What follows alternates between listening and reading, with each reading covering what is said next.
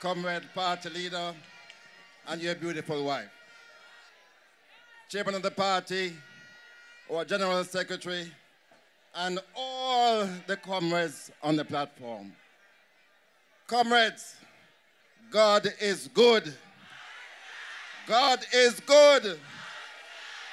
Thank you for your prayers. God is good.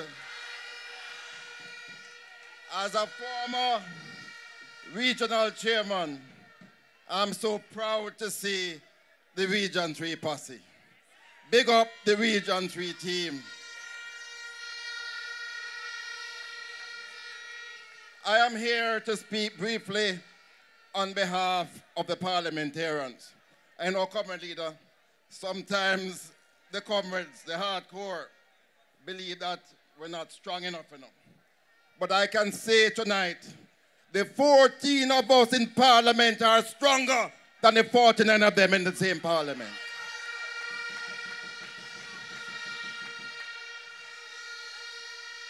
And sometimes the comrades don't see what goes on behind the scenes in parliament.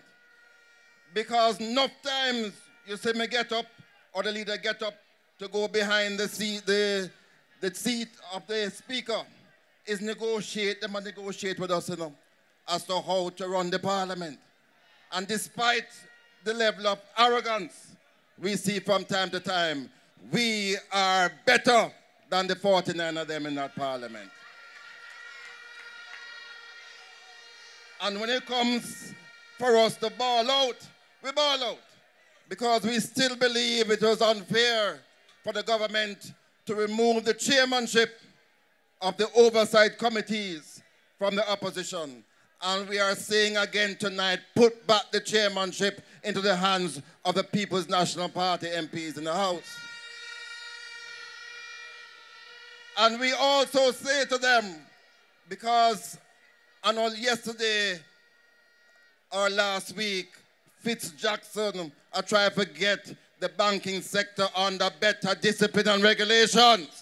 The fees are too high. Bring the bill to Parliament so Fitz Jackson law can be passed.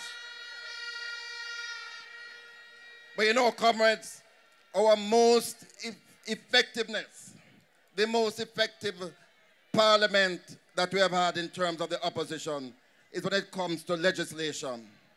And at this time of the pause, to big up the party leader as one of the greatest legislators in our parliament. When them bring, when them bring a bill to parliament, them come to ask me, you discuss it with the party leader, how him feel about the bill. Some say, I'm not so happy, you know. So them say, what him want to change? Because they're afraid for him to get up and talk about the changes to come. And I say to you, Junglis, you have a representative in the parliament that is most effective. And big up the party leader in his home. And sometimes things get hot in the parliament. Sometimes we have to walk out. Sometimes we have to go to court. And this government has lost so many court battles. The last battle in relation to the special, the NIDS, National ID, and of course, they lost the round dealing with the state of emergency.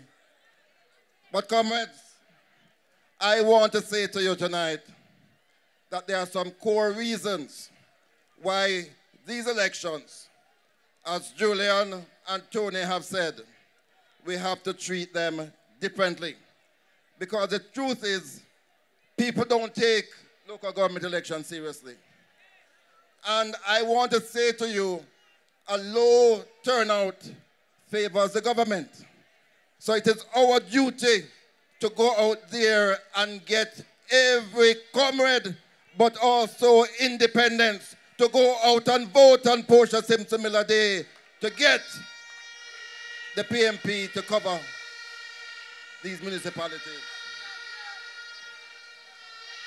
My, my Region 3 brothers and sisters, and I'm taking a little claim, credit you know, because You see the amount of women representing the party in Region 3? It started under my leadership. Not you, Angela?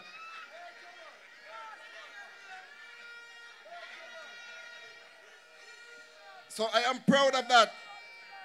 But the party leader has asked me to go to St. Thomas to bring home the 10 seats. And comrades, we have a big surprise coming for St. Thomas. We have a massive surprise coming for St. Thomas. So as I bring you greetings, may I invite my two ladies who hold up my hand in East Kingston and Port Royal, Lauren Dobson and Jacqueline Lewis. Come forward.